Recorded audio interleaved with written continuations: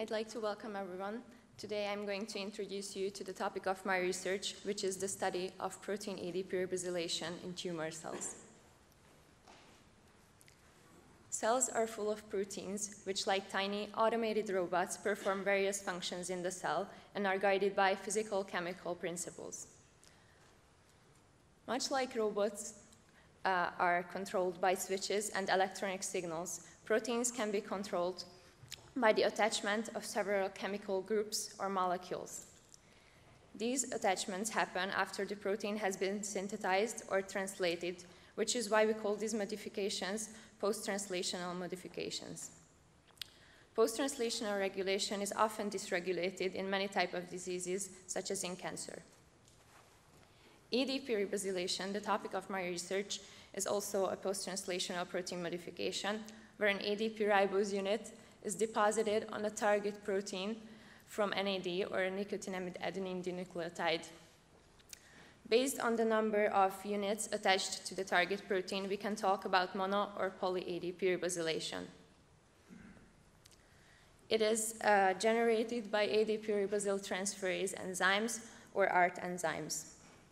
The most well-known ARTs are PARPs or poly-ADP ribose polymerases. There are proteins uh, which contain a specific recognition domain and can bind to ADP ribose, for example, macrodomains.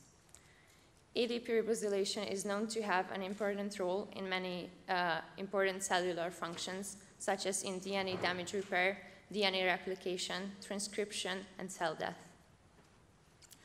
Others have shown that in several types of cancer, for example, in breast cancer, the cytoplasmic ADP ribose levels correlate with better prognosis and better survival rate. So the aim of our research is to identify the correlate of the cytoplasmic ADP ribosylation, identify cytoplasmic ADP ribosylated proteins and the ARTs that are responsible for them, and ultimately we aim to understand the link between uh, those prominently ADP ribosylated metabolic and signaling pathways and cancer survival. To detect ADP ribose, we chose to use a pro interacting protein called the AF1521 macrodomain. This can bind to both poly and mono ADP ribose. Uh, this protein underwent two amino acid substitutions by site-directed mutagenesis uh, which enhanced its ability to bind to ADP ribose. Hence, we call this enhanced AF1521 or EAF1521. The protein was expressed in E. coli bacteria, and then it was labeled with fluorescent dyes. In all the experiments presented today by me, you will see ADP ribose in red and the nuclei of the cells labeled with blue. So the labeled macrodomain was then used for cell stainings what we observed was not a diffusely cytosolic staining, but rather a cytoplasmic but reticular staining that we've examined in two cancer cell lines, HeLa and A549, and even in non-cancerous human embryonic kidney cells. With this experiment, we showed that the cytoplasmic ADP ribose suggested as a prognostic, prognostic biomarker must actually be associated with a reticular cytoplasmic organelle. This organelle could either be uh, the mitochondria or the endoplasmic reticulum. For this uh, to find out, we've co-localized with known mitochondrial markers, such as the mitotracker and the TOM20 protein, and we've concluded that um, the macrodomain did in fact label the mitochondria, and that uh, mitochondrial proteins are the major source of cytoplasmic ADP ribosylated uh, proteins.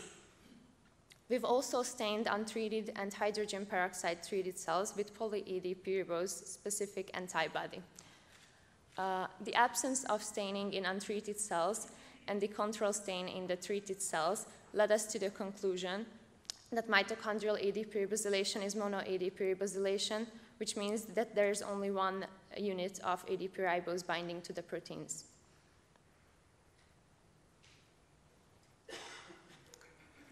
Uh, it has been proposed that PARP1 could be the enzyme responsible for mitochondrial ADP ribosylation, So we've used PARP1 knockout cells, which means that these cells did not have the PARP1 enzyme inside them. And we stained these uh, cancer cells with the macrodomain. And we still could observe the reticular cytoplasmic staining, uh, which meant that the PARP1 can, couldn't be responsible for mitochondrial ADP ribosylation.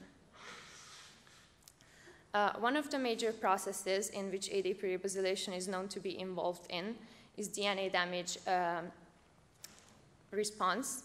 And the mitochondria also has DNA, so we've treated cells with hydrogen peroxide, a substance that is known to cause uh, DNA damage.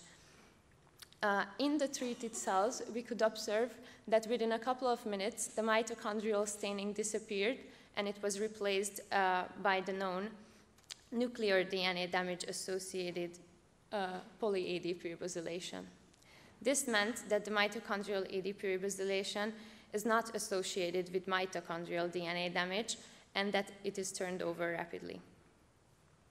We've also wanted to see whether mitochondrial ADP ribosylation uh, has a correlation um, with changes in mitochondrial metabolism. So we've uh, taken U2OS cancer cells and treated them with compounds that uh, affect various mitochondrial biochemical pathways. Uh, we analyzed the microscopic images with a computer program and measured uh, the fluorescence intensities per cell and found the following. Uh, so rotenone and antimycin, which inhibit the electron transport chain, um, led to an increase in the staining, whereas CCCP, which dissipates the mitochondrial proton gradient, led to the fading of the staining. Uh, 2-deoxyglucose, uh, a known glycolysis inhibitor, uh, also led to a slight but detectable uh, decrease in the staining, whereas the glutamine, which is an important fuel for uh, tumor cells, led to uh, a detectable increase in the staining. To summarize, uh, we've used an interacting domain for fluorescent labeling of ADP ribose, and our results indicate that the cytoplasmic ADP ribose is associated with the reticular structure that corresponds to the mitochondria. We have found that mitochondrial ADP ribosylation is mono ADP ribosylation and that it is not generated by PARP1, um, and that it is very dynamic and responds to metabolic stimulation and oxidative stress. Currently, we are working towards identifying the cytoplasmic ADP ribosylated proteins uh, with high resolution mass spectrometry, and uh, we're trying to identify the ARTs, the enzymes that are responsible for these modifications, by inactivating the genes of uh, ARTs one by one by CRISPR-Cas9 method.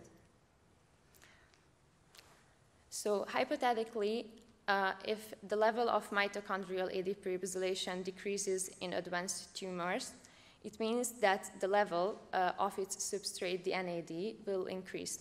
We know that NAD is essential for the growth of tumor cells, so this could explain why the lower levels of mitochondrial ADP ribosylation are associated with worse prognosis and worse survival rate in cancer. For this reason, we can see how the understanding of mitochondrial ADP ribosylation could lead to new and innovative solutions in tumor therapy. I would like to thank my mentors, Professor László Virág and Máté Ágoston Demény, and all the people working at the Department of Medical Chemistry at the University of Debrecen, and would like to thank the Talent Management Program of the University of Debrecen. And finally, I would like to express my gratitude to the National Academy of Scientist Education for their professional and financial support, and for the opportunity to be able to present here today. And finally, thank you all for your attention.